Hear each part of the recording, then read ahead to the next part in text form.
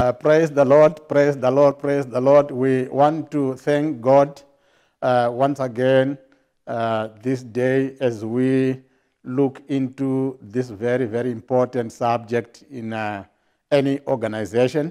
Let me take this opportunity to greet the leadership of the church, uh, the overseer, uh, our district pastors, our regional pastors, elders and deacons, and all those who are in leadership.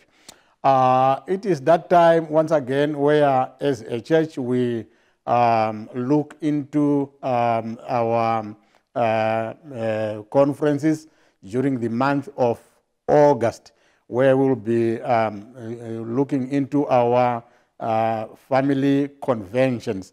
So today I'm going to be sharing on a very important subject in our church uh, or in any organization. I'm going to be talking uh, on leadership. Uh, we will be uh, checking what is leadership, uh, what is every leader expected of, what is it that which we are expected of as leaders. Uh, in the book of uh, First Timothy, chapter number 5 and verse number 17. This is where I'm going to take my reading. I'll give us uh, quite a number of verses as we go along, uh, as we look into leadership. What is it which is called leadership? What are the benefits? Do we have any benefits in being leaders? Uh, Paul says here in 1 Timothy chapter number 5, verse number 17, Paul says, the leaders or the elders the elders who direct the affairs of the church well. This is very, very important. The elders who direct the affairs of the church well. And the opposite of that is there are some leaders who do not direct the affairs of the church well. But Paul is addressing the elders of the church or the elders who direct the affairs of the church well. Paul says, they are worthy of double honor. The elders, the elders who direct the affairs of the church well, are worthy of double honor, especially those who work in preaching and in teaching. This is what every leader is expected of, according to Paul here. If you do your work well as a leader, you will receive double honor. You will receive double honor if you continue to do these other expectations again as leaders, the one who is good in preaching and teaching is worth of double honor. Paul is trying to talk to us, Paul is trying to show us the benefits of being a good leader, the benefits of leading the church of God well. You are worthy of double honor. Uh, Titus chapter number 2, this is very powerful. Titus chapter number 2, verses 7 and 8. Titus chapter number 2, verses 7 and 8. Uh, the Bible reads in everything, not in some of the things, but the Bible reads in everything, in everything. If the Bible that you have is yours, please underline the word everything. In everything, set them an example. As a leader, you have to lead by example. People must look at you and begin to pick up things which they can as well use in leadership. In everything, set them an example. Be a model, be a role model. When people look at you, when people see how you do things, people must be able to pick up one or two things which help, which will help them in their lives as leaders. So in everything, set them an example. Be in front. Try by all means to do something which people will learn from you. In everything, set them an example by doing what is good. In everything, set them an example by doing what is good. What does this mean? It means to say, even as you go to church, people, you must always remember that there are people who are looking at you, people who are watching uh, you, uh, trying to see how you do things, what time you come to church, what time you leave church, whether you attend all night prayers or not. In everything, set them an example. It's not so many things which you need to tell people that you should do it this way, but there are certain things which you need to do, and as people will be watching you, they will quickly grasp how they should lead the church of God. So Titus says here, as a leader in everything, set them an example. Set them an example by doing what is good. Uh, Titus goes on to say, in your teaching, as you teach, in your teaching, show integrity. Be somebody who can be trusted, somebody who can be relied upon. In your teaching, show integrity. In your teaching, show seriousness. In your teaching, show soundness of speech. As a leader, you are not expected to just speak anyhow. You need to lead or show them by example. So, in your teaching, in your teaching, show integrity. In your teaching, show seriousness. And in your teaching, show soundness of the speech. As a leader, you don't need to just speak anyhow. You must be able to, what we call selective of words. Don't just say out anything that comes in your mouth. Uh, your speech must be that one which uh, the Bible says, which is salted. Your speech, the speech that cannot be condemned. So that those, so that those who oppose you may be ashamed because they have nothing bad to say about you. Remember, as you do the work, people will be watching you, people will be looking at you. How do you uh, direct you, how do you conduct yourself? How do you conduct yourself? How do you conduct yourself?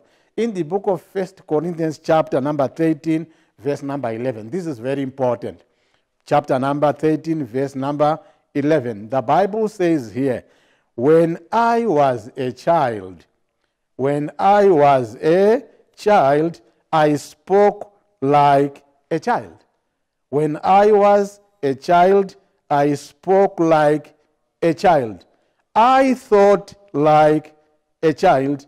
I also reasoned like a child. I will repeat again. This is very important. When I was a child, I spoke like a child, which means as, as a leader, you need to mature. You need to mature. You don't need to remain as if you are a, a novice. You need to mature. When I was a child, I spoke like a child. I also thought like a child. I reasoned like a child. But listen to what Paul says. He says, But when I became a man, when I became a man, when I became a man, when I grew, when I grew, when I became a man, I put child ways behind. So as people will be looking at you, they need to see that our leader is growing. He doesn't act as if he is or she is still a child.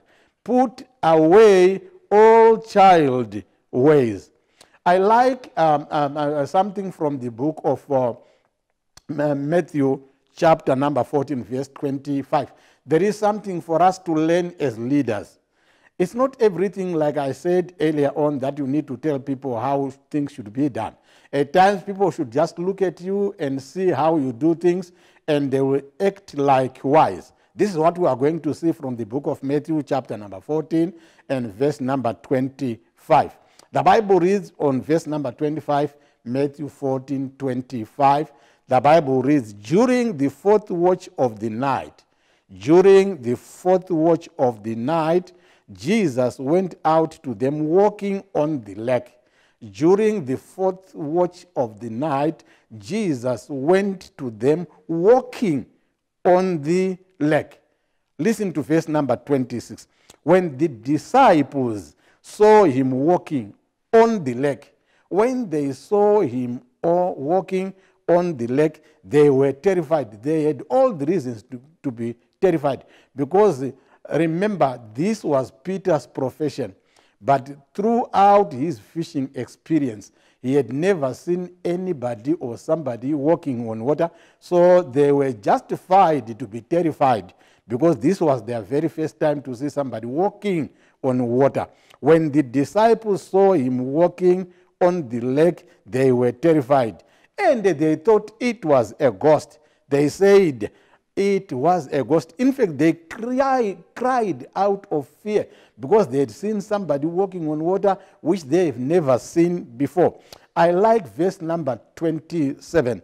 The Bible says on verse number 27 But Jesus immediately said to them, Take courage, it is I. Don't be afraid. Take courage, it is I. Don't be afraid. Listen to verse number 28.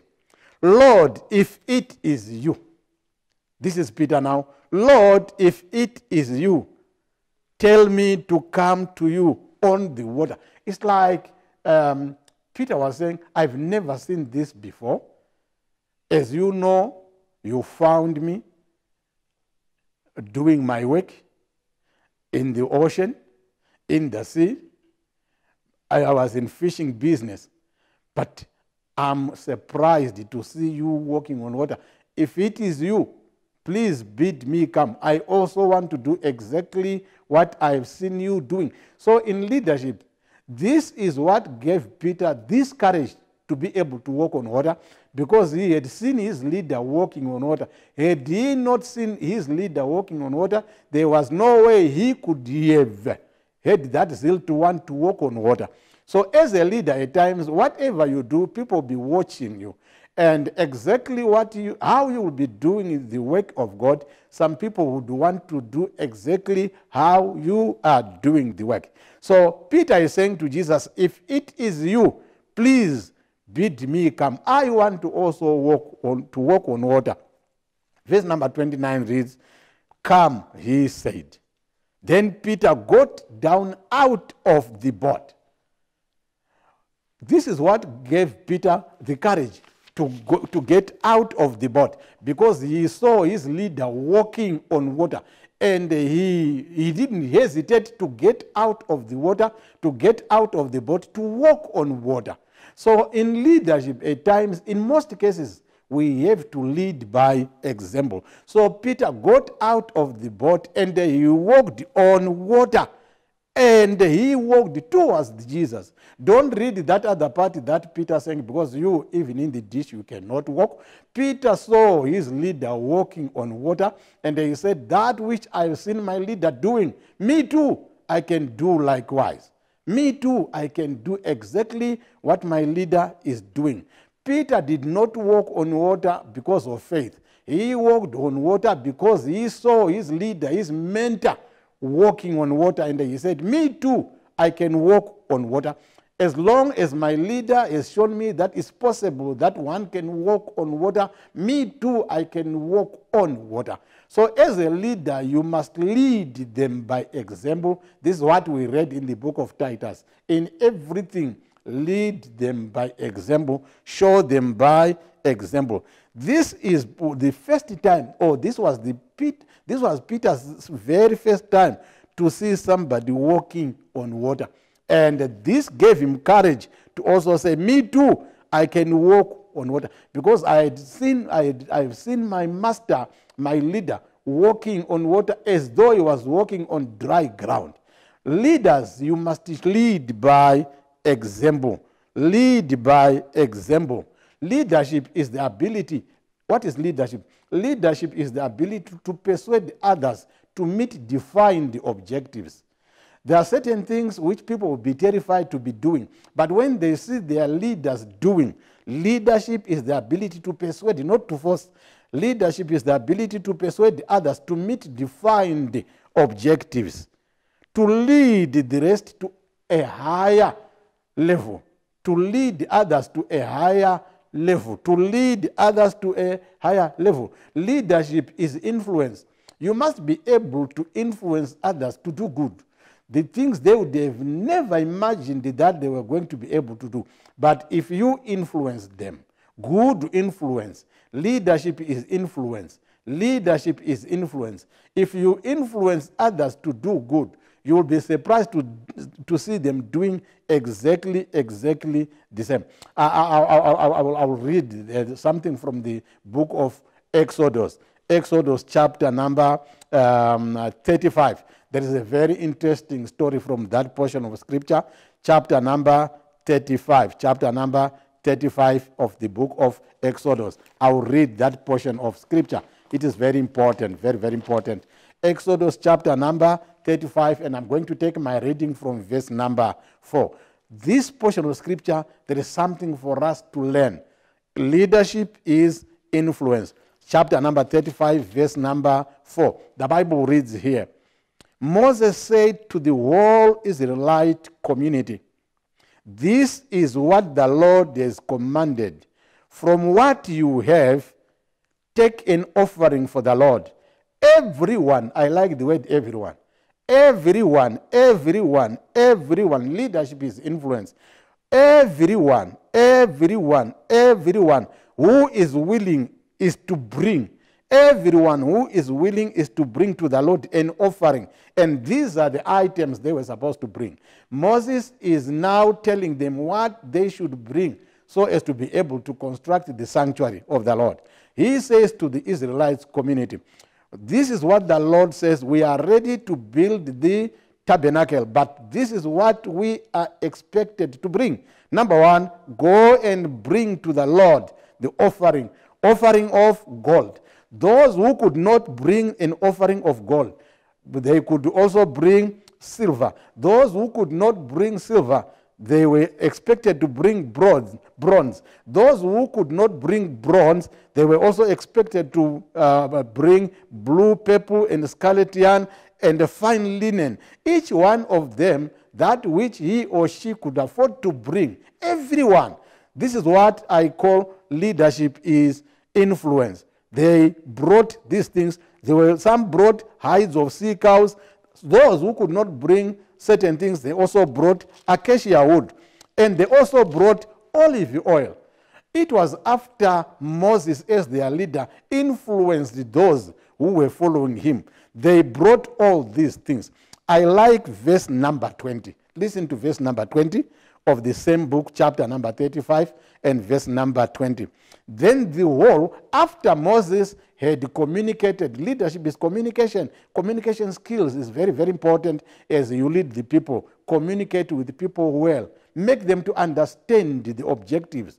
Make them to understand the, lead, the needs. Whatever is needed there, people say everything rises on leadership and everything falls on leadership. So, verse number 20 says here, Then the whole Israelites, all of them, after Moses had influenced them, the whole Israelite community, all of them, the whole Israelite community withdrew from Moses' presence.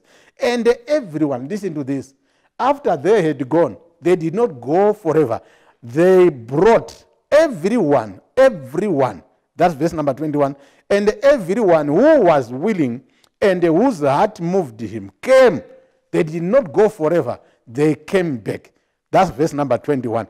And everyone who was willing and whose heart moved him came and brought an offering to the Lord for the work of the tent of meeting, for all its services, and for the sacred garments. Everyone withdrew and everyone came. Leadership is influence. Listen to verse number 22. This is very powerful. All who were willing all who were willing, that's verse number 22, all who were willing, men and the women alike, came and they brought. All who were willing, men and the woman, all of them, they withdrew from Moses. And all of them came back, all of them, men and women alike, they came and they brought. What did they bring? Number one, they brought gold. They brought jewelry of all kinds. They brought brooches. Leadership is influence. Each one of them had something to give to the Lord because their leader had influenced them. They brought brooches. Those who could not bring brooches, they brought earrings. Some brought rings and some brought ornaments. They all, they all, not some of them, they all presented their gold as a wave offering to the Lord. After Moses, their leader, had influenced them. So there is no reason for one to say, if there is a project to be done at your church, there is no reason for one to say, Awanawadi. No, your duty as an elder is to influence them to do that which they never expected that they were able to do. So this is what happened here when Moses spoke to the people of Israel. Each one of them was influenced enough to bring something to build the tent of meeting. They brought all these things. They all presented their gold as a wave offering to the Lord. Everyone, everyone who had blue, purple, or scarlet yarn, or fine linen, or goat's hair, ram skin dyed ready, and uh, whatever people brought. Now, verse number 24 uh, reads, Those presenting an offering of silver. Some brought silver, and uh, some brought bronze, some brought um, many kinds of things. Uh, the, everyone brought to the Lord. I like verse number 27. This is very powerful. Verse number 27 of chapter number 35. This is powerful. The leaders, the leaders brought onyx stones. It's like the leaders were saying, We are the leaders of the community. We cannot be seen to be bringing acacia wood as a leader. I cannot be seen to be bringing goat's hair as a leader. I cannot be seen to be bringing some material as a leader. They brought things of value as a leader. You must lead by example. You must learn to go an extra mile. You must learn to go an extra mile. When others are doing certain things, you as a leader, you must be seen to be going an extra mile. I'll read again verse number 27. The leaders brought onyx stones. They said, We cannot bring God's hair. They brought onyx stones and other gems to be mounted on the ephod and the breastplate. Listen to this, verse number 28. They also brought spices the leaders. They brought spices. They brought spices and the olive oil for the light, and for the anointing oil, and for the fragrant incense. All the Israelite men and the women who were willing brought to the Lord. All of them, they brought to the Lord free will offerings for all the work of the Lord through Moses, which Moses had commanded. All of them, each one of them brought something. Each one of them brought something because their leader Moses had influenced them well and they grasped the vision of their leader. So we are expected as leaders to make sure that we set benchmarks. We influence people to be able to do or to go an extra mile.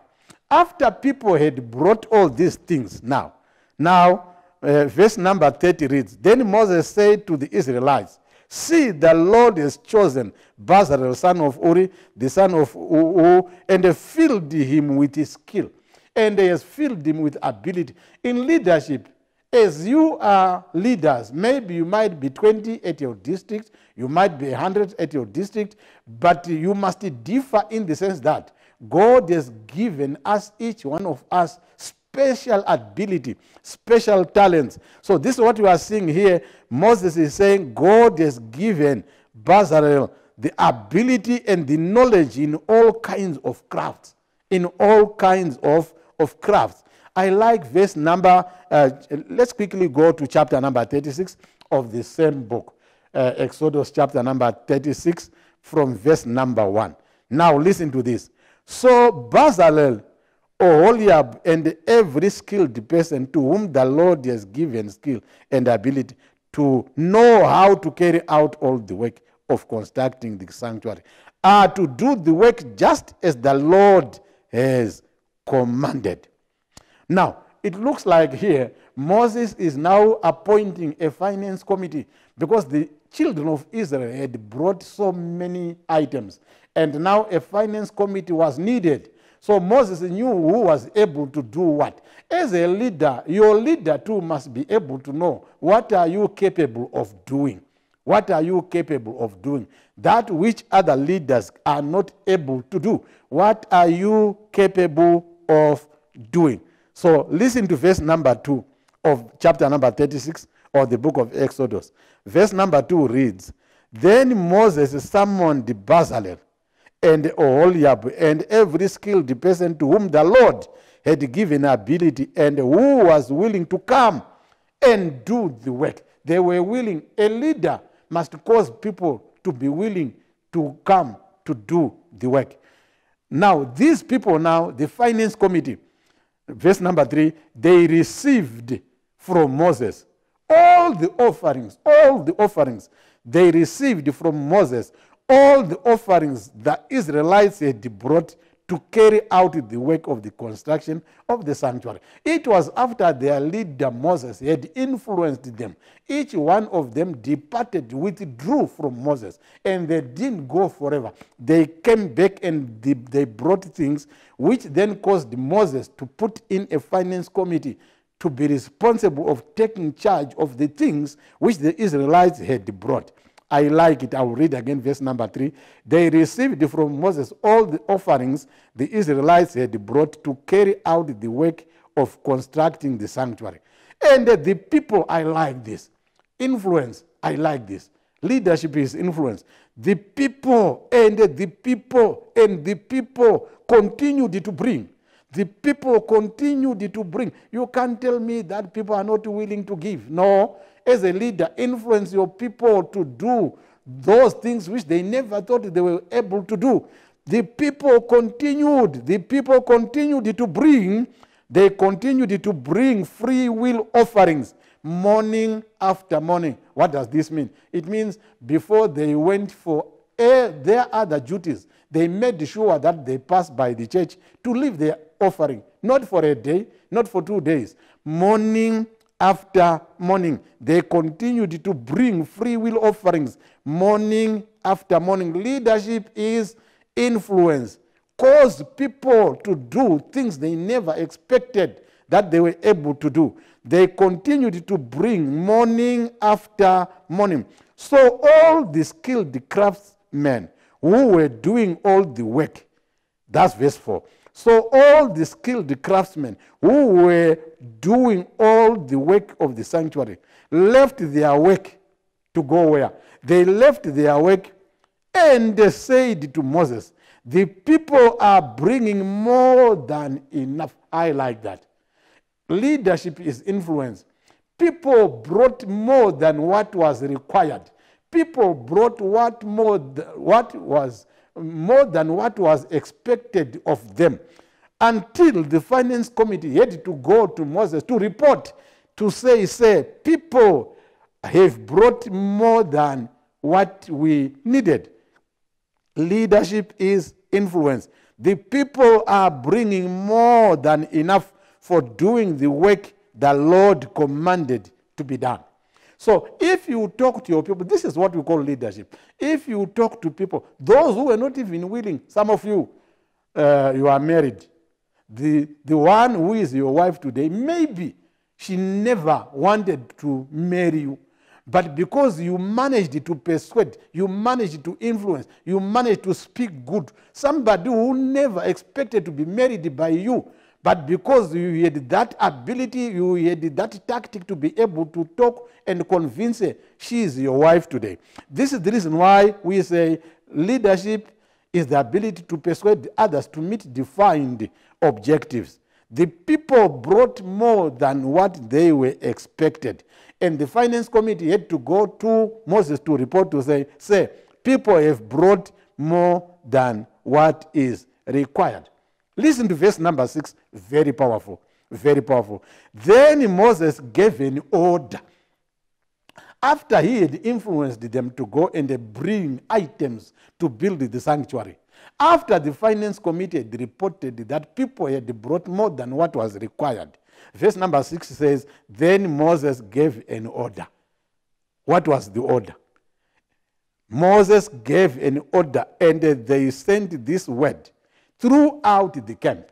They sent this word throughout the camp.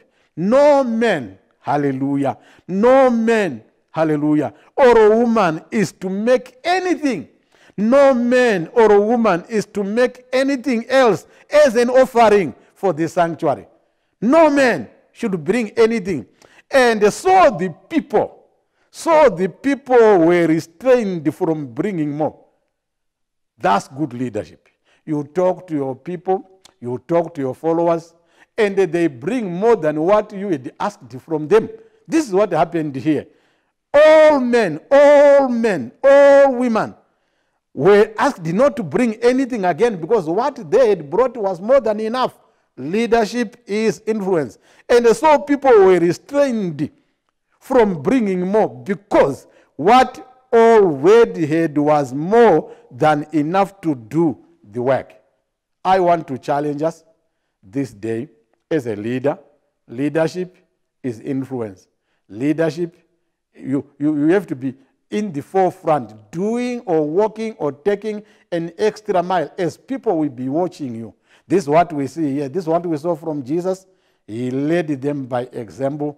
We saw Peter walking on water simply because he had seen his leader walking on water as well. And don't forget what Titus told us that in everything show them by an example. Don't forget what uh, Timothy told us that uh, the leaders of the church who directs the affairs of the church well are worth of double honor. As I conclude this day, I want to continue to encourage you. I want to continue to encourage you. Leadership, leadership is influence. I want to quote what the seventh apostle of God says, our, our, our, our father, uh, in his book. In his book, I want to uh, say something. Laws and the responsibilities of a leader laws and responsibilities of a leader. This is what the president and founder of this great church uh, says in this book. He says, he says here, leadership is the ability to persuade others.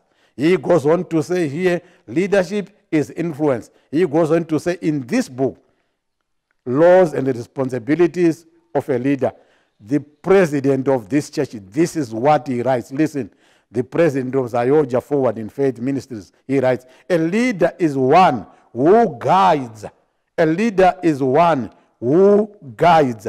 A leader is one who guides activities of others. And he acts and performs to bring about those activities. This is what the president and founder of Forward in Faith says. He says, a true leader must have a strong drive, a strong drive, not a weak drive a true leader must have a strong drive, a strong drive to take the initiative, which means he has to be in front. He must have a strong drive to take the initiative to work. He goes on to say, a leader should not resist change. If you are to be a good leader, you don't need to resist change. A leader should not resist change. Actually, if you resist change, change will change you. So you don't need to resist change. You would need to accept change. It's better to change before change changes you. Because if you refuse to change, definitely change will change you. He goes on to say, a good leader in this book. He says, a good leader, a good leader promotes others. A good leader promotes others. This is where we have challenges with so many leaders, especially in our church.